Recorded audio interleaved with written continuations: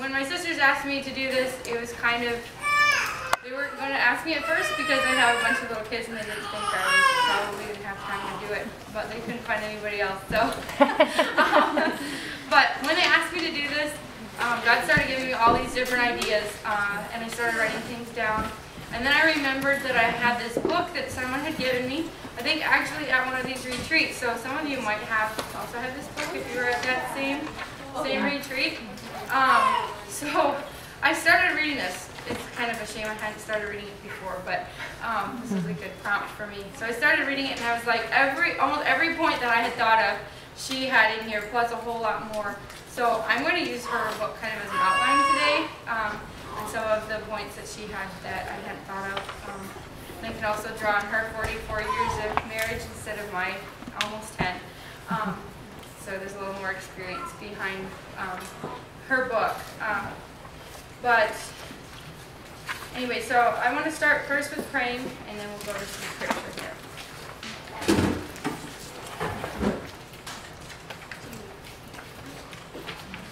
All right, Lord, thank you for the gathering of these lovely ladies and all the encouragement that we've been gathering from everyone. And I just praise you for your your work that you're doing in the lives of all of the women here and all of their families. We pray that we could learn how to better minister to our husbands and our families and um, glorify you through through our work there. Um, please be with me as I speak today and give me the words that uh, you want me to say and that I would have clarity of mind to share what you've shown me. Um, all right, Genesis 2.18, I want to start with. And it says, And the Lord God said, It is not good that the man should be alone. I will make him and help for him. And 1 Corinthians 11.9, Neither was the man created for the woman, but the woman for the man. God created you to be the perfect person for your husband.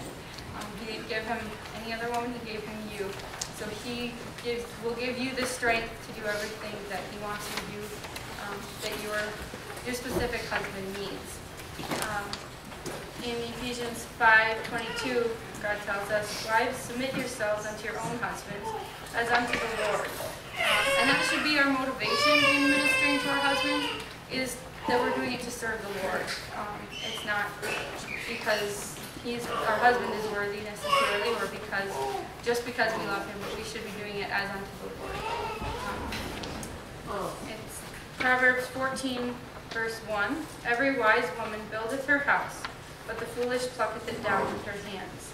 Um, so the first point on your outline is about making a sanctuary. Um, this is an area where personally I'm not naturally inclined um, in making my home a place that is inviting and that my husband will feel is a comfortable place to come to. So that's something that um, I have to work at harder than some women. Um, but just a couple points on this um, is being diligent. The woman in Proverbs 31, she was very diligent. She looketh well to the ways of her household. Um, and eateth not the bread of idleness. She riseth early while it is yet night. Um, those are some, some things that God shows us about being diligent um, so that we can get to be diligent about cleaning and laundry, preparing meals and things like that that are essential to just our home being a comfortable place for our husband. Um, a couple things about cleaning, planning your cleaning so that you have a schedule of what needs to be done when can be helpful actually making it happen rather than just chaos of sometimes things get cleaned and then you realize, oh, I think it was, you know, three years since I cleaned out under this. uh, anyway, another tip on that is having a time um, before your husband gets home at night. Um, if your husband works a you know, typical job, just have a quick time before he gets home to run around and pick up things and tidy things up a little bit so that it's a little less of a disaster when he gets home. Also include your children, train them how to clean up so they can be doing that to serve your husband as well, and it makes it easier for yourself also. Um, laundry is another area I have on there. Um, might not think of that. That's kind of a mundane task, but that's that is definitely a way that you can serve your husband in keeping him clothed with clean clothes. yeah, you know, picking up the socks off the floor and washing them is definitely a, a. what was that? Putting, putting them away, yes. uh-huh, for sure. Um, you might. The next point I have is food. You might have heard the saying that the way to a man's heart is through his stomach. you know, um, so preparing food for him and, and uh, finding ways to make nutritious food that's also enjoyable. Um, you know, some of our husbands will eat anything because we think it's the best thing ever. Others, uh, we have to get more creative with how to make something that he will enjoy and eat that's healthy for him. Um, so just kind of learning, learning about that, um, finding a plan of eating that works for you and your family. Um, it can be nutritious. Um, and planning planning those meals in advance can also be helpful so you can have a plan that helps with a budget and knowing what you're going to make instead of saying, oh dear, he's going to be home in five minutes and I haven't started supper yet. Uh, guilty of that one too. yeah, I'm sure we all have. Uh, another one I have on there is beauty in the home. And you might not think of beauty in your home as something your husband cares about. I mean, most of the time, they're not all, like, you don't care what color the picture is on the wall.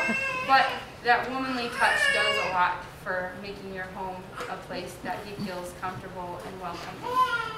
So do, do pay attention to what you're doing in your decorating so that it is a welcoming, comfortable place for him to live. Um, and then also um, ministering at home.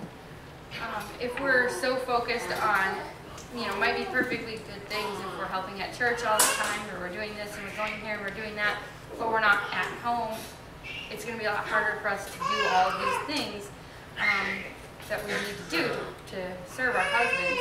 And Titus 2, 4 through 5 says that they may teach the young women to be sober, to love their husbands, to love their children, to be discreet, chaste, keepers at home, good, obedient to their own husbands, that the word of God be not blasphemed. And that verse shows that the job of the wife is ministering to her family at home. Um, it's not to say she can't do anything that's not in the home, but that is her first priority. Uh, 1 Timothy 5.10 also talks about it. It talks about the women, the widows, I'm sorry, the widows who were reported of for good works if she have brought up children, if she have lodged strangers, if she have washed the saints' feet, if she have relieved the afflicted, if she have diligently followed every good work. Most of those good works are in the home, or we start in the home, you know, raising your children, um, being hospitable, all of those things are home-based ministries um, that God calls us to as women. So the next, um, the next topic is uh, nurturing yourself for Him. Investing in yourself as your husband's helpmeet is actually ministering to Him. Um, so there's four, these four areas that we're going to look at: your spiritual life, sleep, exercise, and nutrition.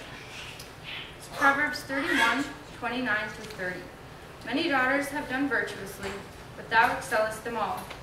Favor is deceitful, and beauty is vain, but a woman that feareth the Lord, she shall be praised.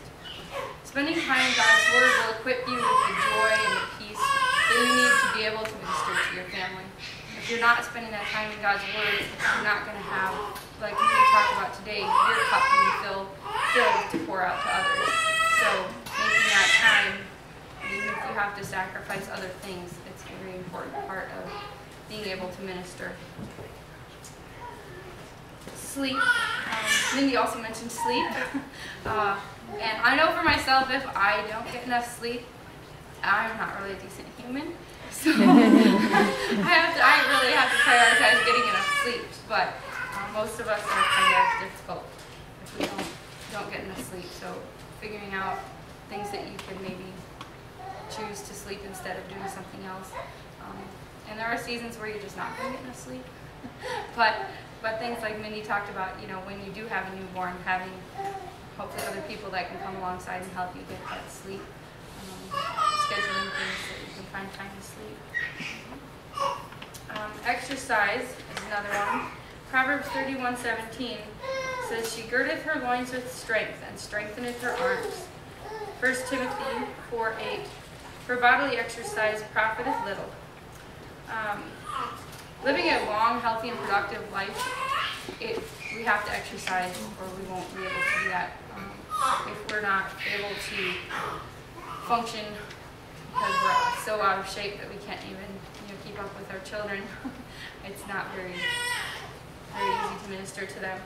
Um, a few things you can do, I mean, even just if you go on a walk a few times a week with your children, or can be a good time to talk with your husband, or go on a walk and let the kids burn off those wiggles and get your blood moving.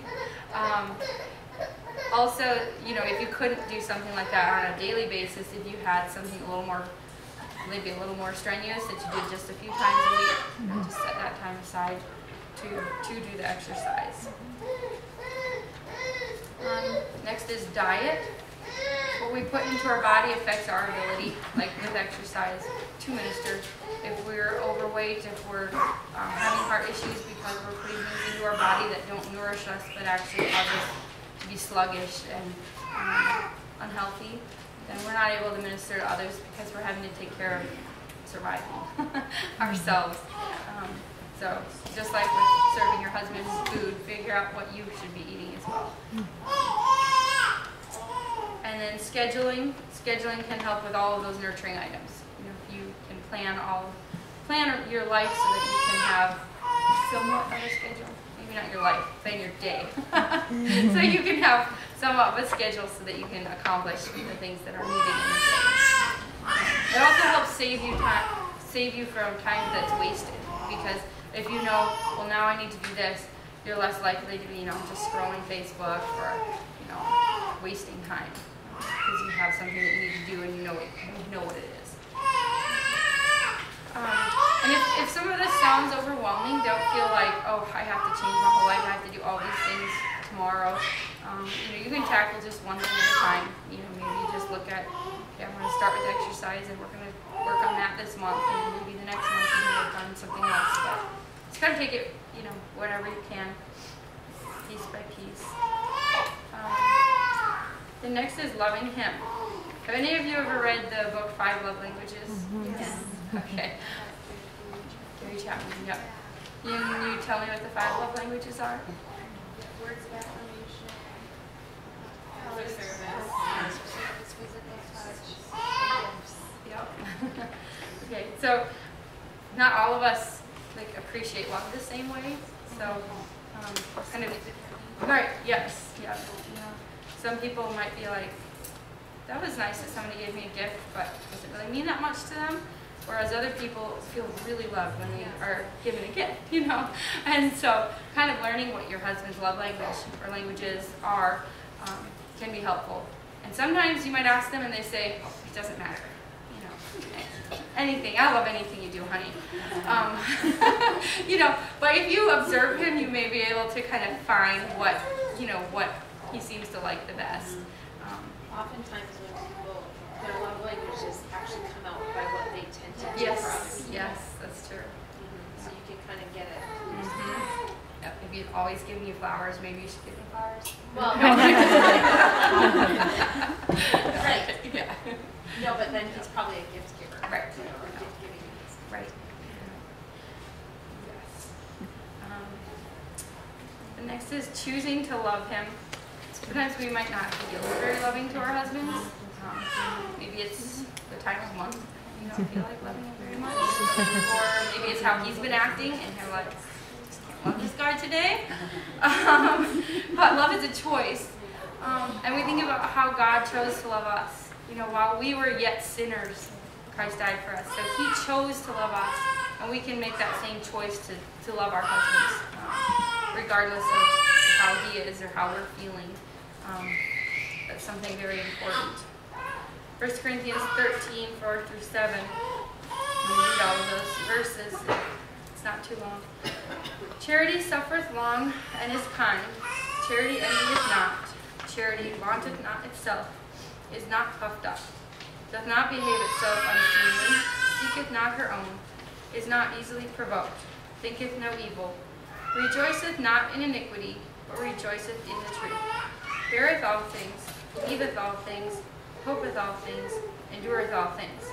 If we can follow after charity, we will love our husbands perfectly we can do what that verse says.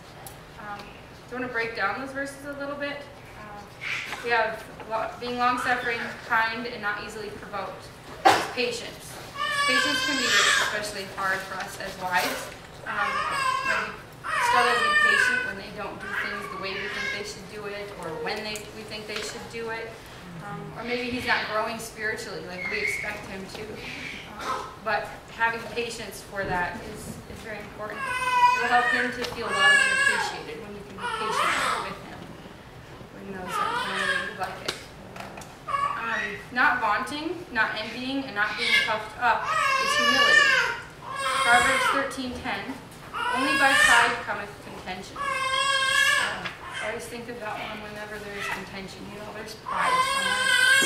Proverbs twenty-eight twenty-five. He that is of a proud heart stirreth up strife. And James four six.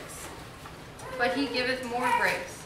Wherefore he saith, God resisteth the proud, but giveth grace unto the humble. And humility is the opposite of pride. So leaving our pride behind and serving in humility, we minister to our husbands more than if we're standing in our own pride. So we want to make our marriage better by being humble, and it'll make our husbands' lives better as well.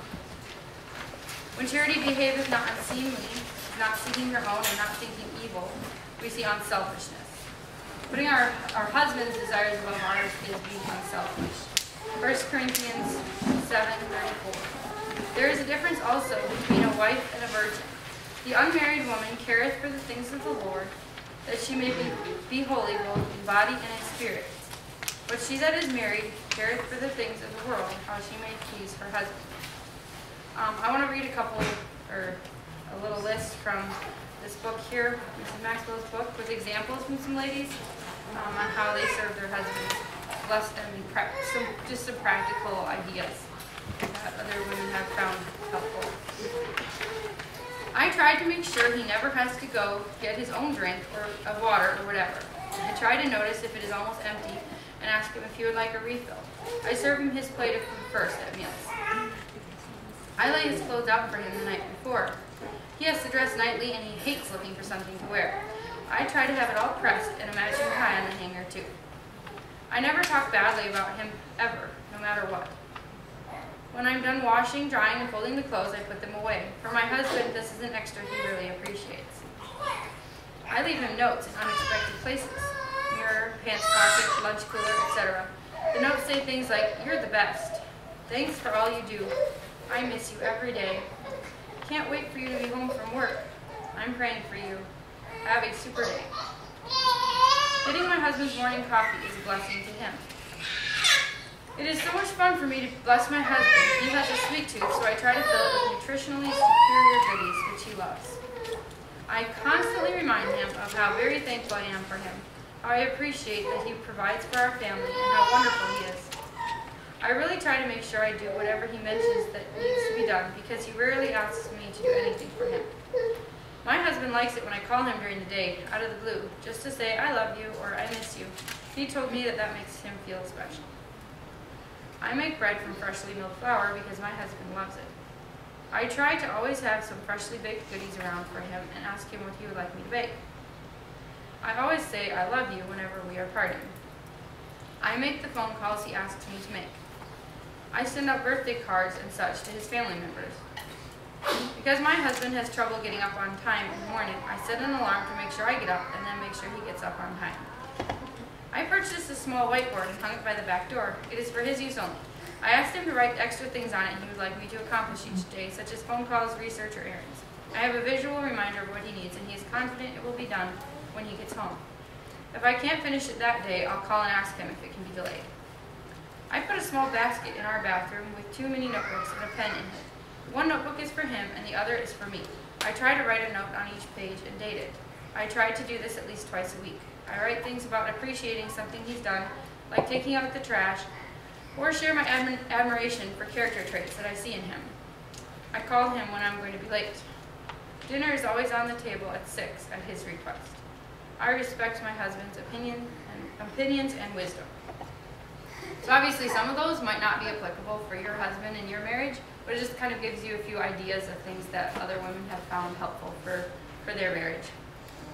Um, it's easy to fall into a rut, kind of just the daily ins and outs and all the things that need to be done.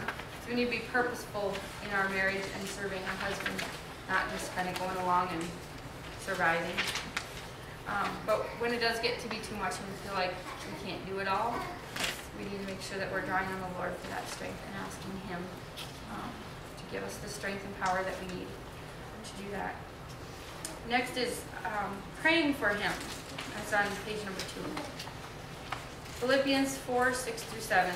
Be careful for nothing, but in everything, by prayer and supplication, with thanksgiving, let your requests be made known unto God. And the peace of God, which passeth all understanding, shall keep your hearts and minds through Christ, through Christ Jesus. Prayer is probably one of the most powerful ways of ministering to your husband that there is. I'm going to pray for God's will to be done in decisions in your husband's life.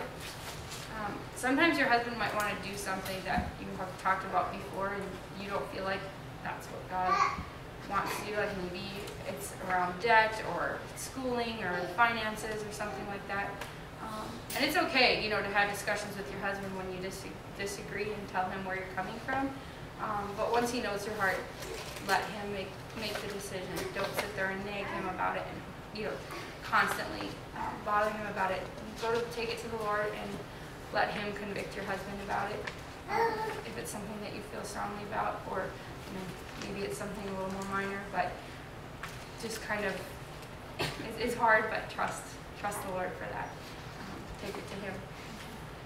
Um, and when you're praying, evaluate your motives uh, around praying for your husband. Be praying for God's will and for him to be conformed to the image of Christ, not because it's something that things that you want. You know, it shouldn't be about you or what you're praying for shouldn't be because you want something, but rather because you want him to be more like Christ. Um, one of the most powerful things is praying scripture over your husband. Um, I want to read Colossians 1 9 through 11 because it's a really great example of a verse to pray over your husband. For this cause we also, since the day we heard it, do not cease to pray for you and to desire that you might be filled with the knowledge of his will in all wisdom and spiritual understanding, that you might walk worthy of the Lord unto all pleasing, being fruitful in every good work, and increasing in the knowledge of God, strengthened with all might, according to his glorious power, unto all patience and long suffering with joyfulness. Prayer like that is powerful for your husband. You imagine having to pray over him. Colossians 3, 17. Um, there's tons more, but that's all I had time to, to hunt up and write down. Um, but there's, there's many like that. Um, and when you are praying, again, you know, make sure that you're not having a critical or condescending spirit towards your husband. Try to focus on the positive traits that you appreciate rather than, oh, change this and fix that. You know, he's got all these problems I want God to fix, you know, um, build them up too. And then keep praying for your marriage too. Praying for your husband is important, but praying for your marriage as a whole. Um, there's a bunch in your handout from Mrs. Maxwell's book, um, a list of things. I can go through those here. Wasn't sure if we would have time, but I think I talked too fast, and so we do. um, pray that your marriage will be a picture of Christ and the church as God designed. Pray that it will be a testimony to your children and to the world. Pray that your marriage will flourish and grow. Pray that you will both be quick to forgive. We talked about in the Bible study, I think, in our group, about bear and forbear. Um, pray that you will be unified in heart and soul. Pray for outreach opportunities. Pray that you will be drawn closer together. Pray for God's protection because the devil hates marriage. Ask him to help you to liken each other and not to annoy each other. And I'm sure you can think of lots more to pray for your marriage, but that's just the starting point. Um, and then pray for yourself because we need God's strength to be a godly wife. So you want to ask Him for the strength, the power, the perseverance to be a godly wife. Um, next is following your husband. Ephesians 5:23. For the husband is the head of the wife, even as Christ is the head of the church, and he is the Savior of the body. Therefore, as the church is subject unto Christ, so let the wives be to their own husbands in everything. If we want our husbands to be leaders in the spiritual things in our lives, we need to also follow him in the little things that seems seem smaller. Um, respecting your husband through following him. Um, Ephesians, the end of Ephesians 5:33 says, "And the wife see that she reverence her husband." Um, I have the definition for reverence is to regard with reverence, to regard with fear mingled with respect and affection. So we're going to be following, like, like when we're following the Lord, we need to follow our husbands, and it shows them that we have respect for them, it shows that we love them, it shows that we trust them, um, and that we have reverence for them. And this is especially true when it's something that you don't necessarily like, you know, uh, when you can follow in a way that maybe isn't the decision that you would have made, but you choose to follow anyway. Um, you know, giving up our way shows respect for your husband. And then, is your husband worthy of the respect that God asks you to give him? I'm gonna answer that with another question. Are we worthy of having our husbands give their lives for us? The answer to both is no. But just like we talked about earlier, God commands us still to do that. Just like when we were not worthy, He gave Himself for us. So we're still to respect our husbands even when they don't deserve it, you know, or they haven't earned it. Um, we want to strive to create an atmosphere where our husband is comfortable coming to us and asking for advice, where he feels safe to make that decision. Uh, if every time he comes to us and asks for our advice and we uh, give it and then he makes a decision and we're constantly, why did you do that, and questioning it. Um, or if he makes a bad decision and we constantly bring it up to him and say, well, remember that time when you did this decision and now look what happened. He's not going to, you know, the, the, I just told you so kind of a, a thing that doesn't, doesn't help matters and he won't feel comfortable with even getting your advice. Um, we want that to be a trust relationship where he trusts us and we trust him and we go forward and make a decision together and he, we trust his decision. But we can make it make it a lot worse when we're constantly bringing up past mistakes because everyone makes mistakes. I mean, I don't know about you, but I'm not perfect. so neither is our husband, and he's going to make mistakes, and he doesn't want to make mistakes. You know, I mean, I don't think any of our husbands want to make mistakes. So when they do make mistakes, you know, let it be gone. Um, Psalm 103:12. As far as the east is from the west, so far has hath he removed our transgressions for us. So let's follow the Lord's example and put our husband's transgressions or our mistakes and failures behind us and just leave them, leave them in the past. Um, another one is arguing not. When he does make the decision, we covered that a little bit, but don't don't try to convince him that your way is right um, or argue with it. You know what it feels like when a child, you tell a child to do something, and you're like, "But mom, we need to do it this way," or, or you don't want us to argue with you you don't feel very respected by that child. And our husband must not feel very respected when we argue with him either. Um, and then another one um, on page three, following or pushing. Sometimes we'll think we're following, but we're really just like pushing him in front of us, and then we're, we're right behind you, honey. That, that's not true following.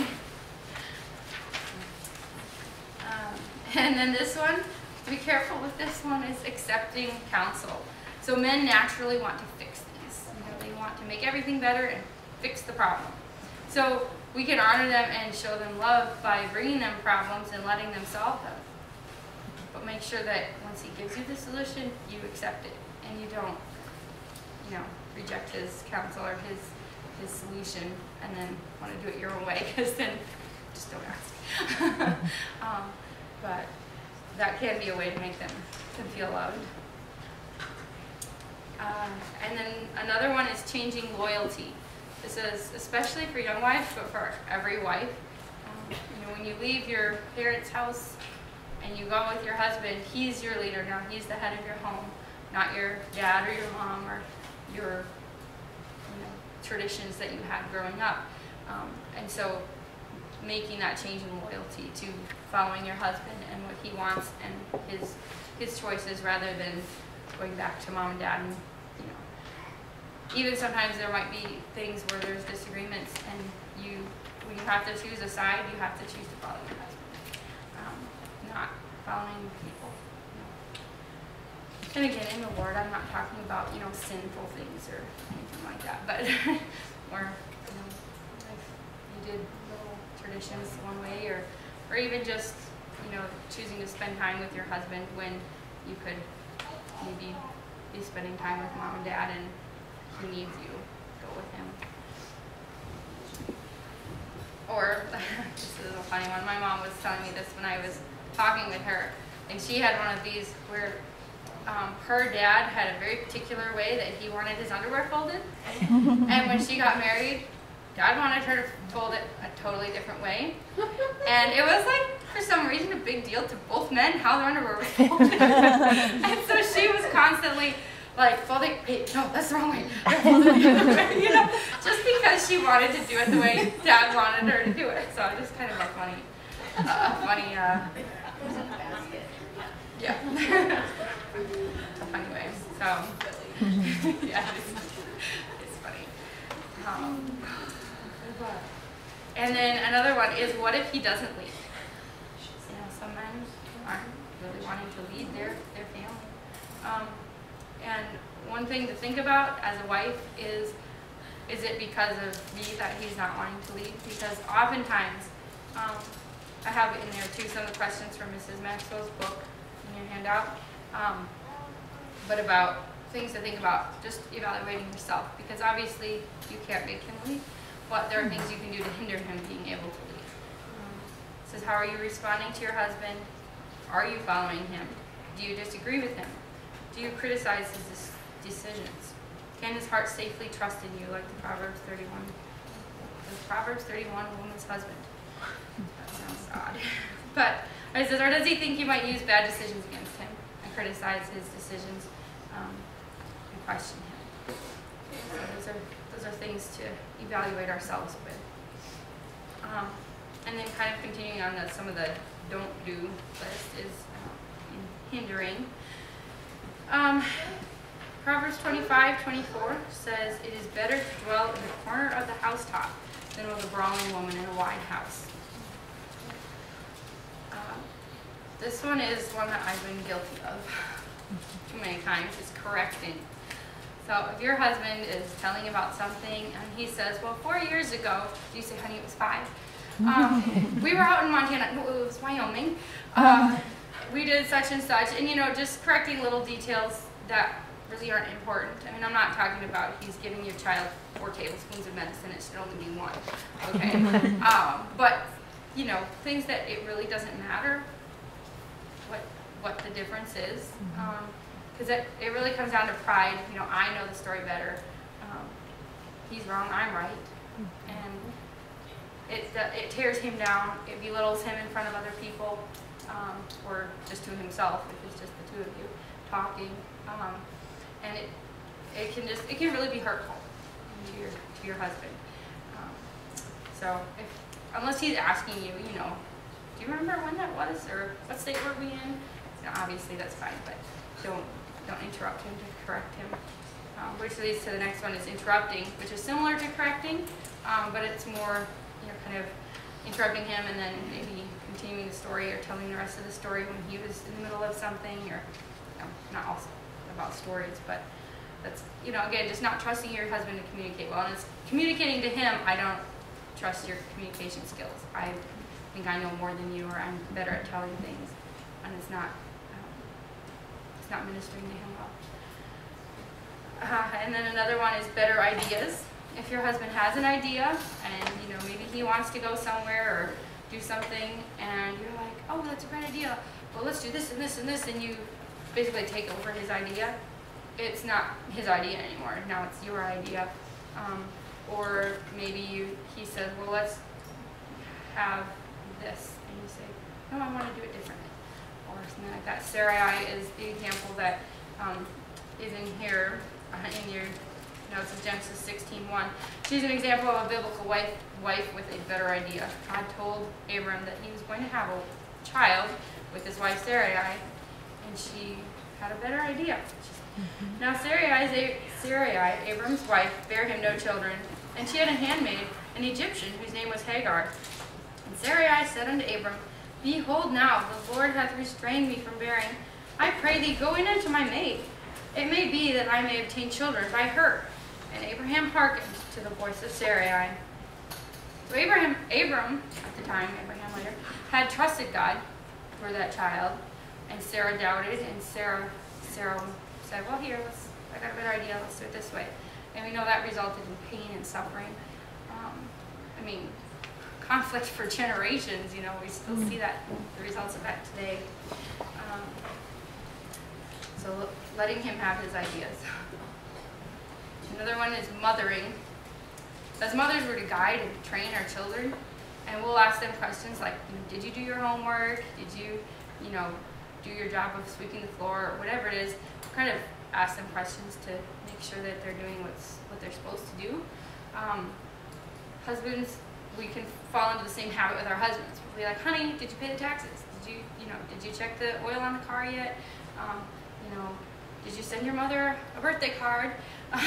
you know, different things like that where you're, you're kind of mothering him. Did you eat the salad I sent you for lunch? Um, yeah. Anyway, we're not his calendar reminder or his, you know, he could set a calendar reminder to pay the taxes or whatever.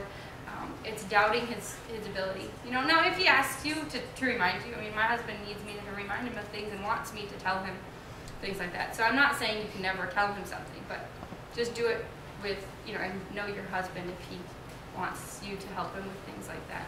But don't do it in a mothering way where you're you're not trusting his ability as a man to be a man and do do man's work. Um, like a, a, good friend of mine from the Philippines, she said it was it was Dina. She she always said, "Don't be a nagger. don't be a nagger." So, um, which leads me to our next topic, which is dripping and Proverbs twenty seven fifteen. A continual dropping in a rainy, very day and a contentious woman are alike. So we're going to watch a video oh, dripping.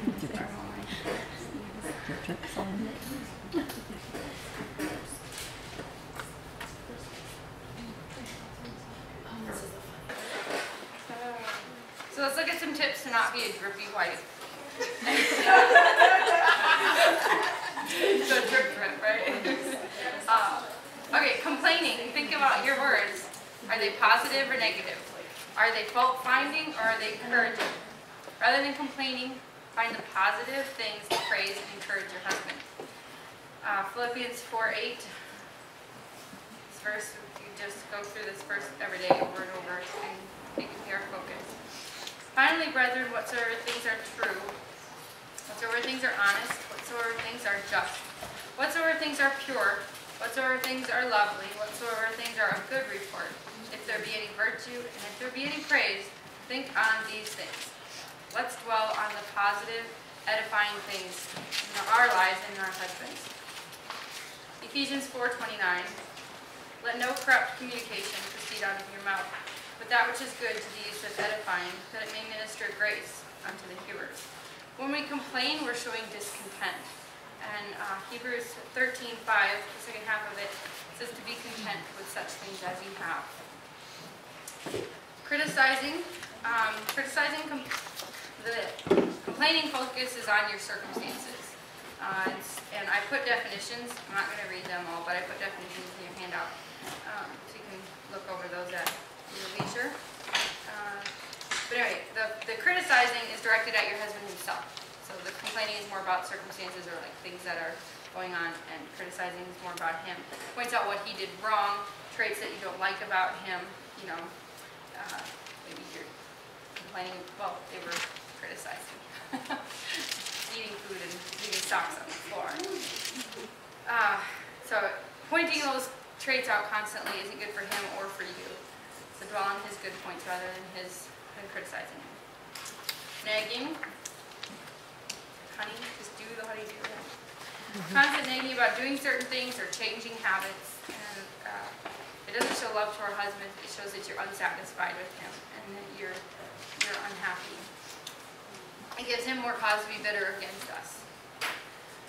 Controlling, uh, many of the topics we covered are controlling your husband. When you try to make certain things happen, the way you want them to happen is controlling. And it says in Proverbs 17:1, Better is a dry morsel and quietness therewith than a house full of sacrifices with strife. Many men will rather, would rather give up the control and the leading than to have to fight your wife over it all the time. Not all men, some men will fight to the end for being able to lead, but other men will just say, fine, you want to lead, go ahead, lead, I won't, I don't want to, I don't want that contention. Um, And then, then you're stuck, well, I want to lead, how can I follow? Well, I kind of did it for ourselves sometimes.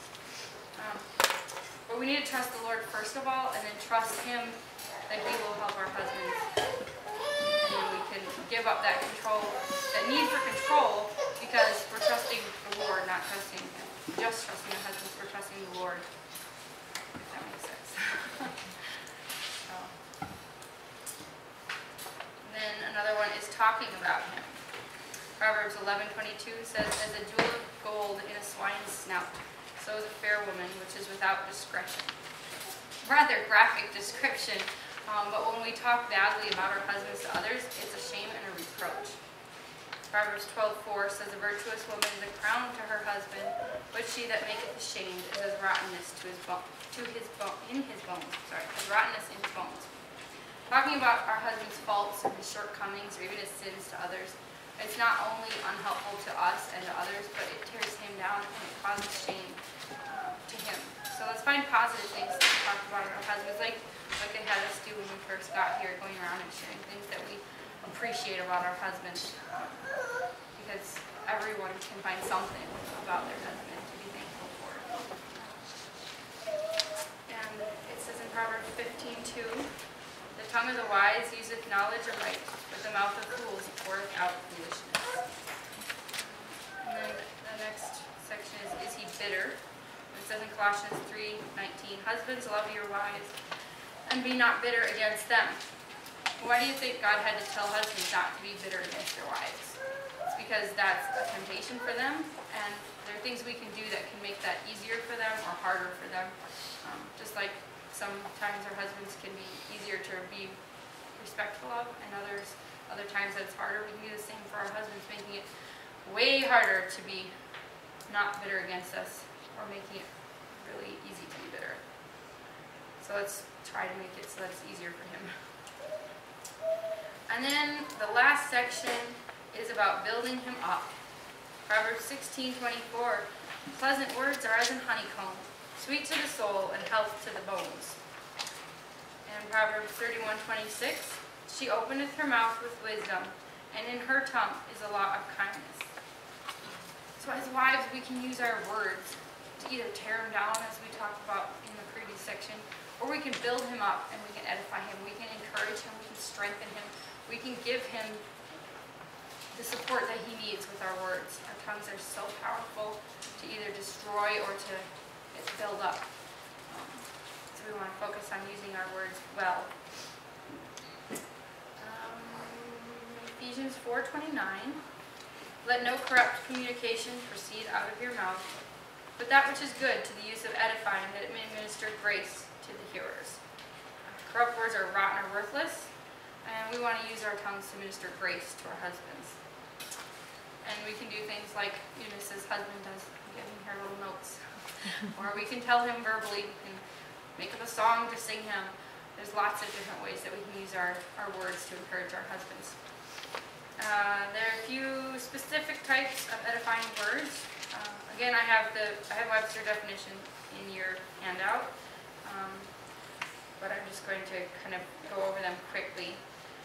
Is I have gratitude, express your thankfulness to Him, find things about Him to be thankful for and tell Him. Praise is similar to thankfulness, but these edifying words are more about what He has done. Um, I mean the Right. They're more about what he's done well and why we appreciate it and good character traits. Um, encourage, or yeah, I wanted to go to Proverbs 27. Getting ahead of myself. Proverbs 27, 2. Let another man praise thee, and not thine own mouth, a stranger, and not thine own lips. So we can do that for our husbands, is be that other tongue that praises him. Encouragement. Webster defines encouragement as the act of giving courage or confidence of success. Imagine a husband whose wife is encouraging him, giving him confidence and success, and making him be courageous. That's a pretty powerful thing to be able to give our husbands courage through our words. Um, It's, there are a lot of men out there that don't have courage these days, and we can help build that in our husbands. Proverbs seventeen twenty-two. A merry heart doeth good like a medicine, but a broken spirit drieth the bones. And Following up on a merry heart, smiling. A smile shows joy and contentment. So even if you don't necessarily feel joyful at the moment, um, you can choose joy. Because in Philippians 4 4, it says, Rejoice in the Lord always. And again, I say, rejoice. We can choose to rejoice and choose to smile and show that rejoicing. Being thankful and choosing to dwell on the positive traits of your husband and praising him can also help you to have that merry heart because you're focusing on the good things rather than focusing on the negative. I, can, I don't think we covered this verse already. Um, Proverbs 15 13. Oh yeah, it's just similar to the other verse. I'm like, wait, I think I read this. But a merry heart maketh a cheerful countenance, but by sorrow of the heart the spirit is broken. And lastly, um, be interested. If you've ever been talking to someone and trying to have a conversation with Jana, and she's like, you know, here, and she's like, her watch, figure out if she wants to go start supper yet. And it's it's just there's no connection there, and it shows that you don't really care about what your husband is saying if you're not giving him your attention and being interested. And sometimes our husbands have things that they're super passionate about or very interested in that are extremely boring to us. you know, I mean, like, you might think, I really don't care how many points were in that game, but we need to choose to be interested in their interests. You know, maybe we can learn about whatever it is that they're interested in so that we can pay attention when they're talking to us. Um, and it, it shows them that you love them and you care for them and you're interested in things they're interested in. Just like if they were going to be interested and they would pay attention to your knitting or whatever you're telling them about because they love you and they care about it. So it can be the same for them. Be interested in them. And what, I mean, interested in what they're talking about. Uh, so again, that's a lot of topics and different areas, and I don't want you to feel like, oh, I'm a failure, I can't do all of that. Um, I just wanted to encourage you in things to consider and, you know, press towards. Um, but I don't want you to feel overwhelmed, it to feel overwhelming. So just take, take things one, one, maybe one thing at a time. Um, you don't have to build the whole house in one day. So just piece by piece.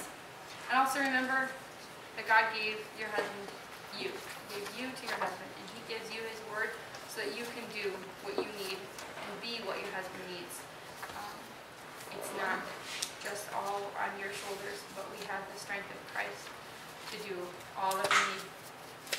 So uh, I want to end by reading a portion of this book here, My Delight by Teri Maxwell, on page 85. Uh, it says, What's in the heart? It starts with letting go. We have to decide if we truly want to submit ourselves to God's way and choose to be followers of our husbands. We must come to terms with not having to be in charge and maybe not having things go our way. The bottom line is that we are to rest in the Lord and trust Him. Can we do that with genuine happiness and contentment? If our compliance is outward only, do we, do we see that as sin? And are we crying out to the Lord to change it? Do we tolerate our inability to follow by saying, that's just how I am, and I can't change? Truly, one of the greatest indications of respect for a husband is whether his wife will follow him. What wife do you want to be?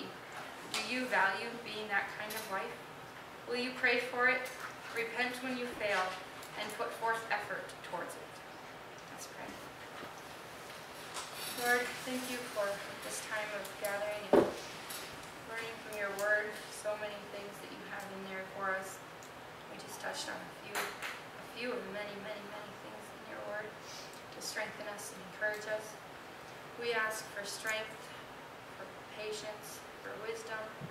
We ask you, Lord, to guide us and give us all that we need every day to be godly wives and mothers, to be a blessing to our husbands, to be able to minister to them, and that you would just bless our homes, Lord, and help us to live godly in Christ Jesus.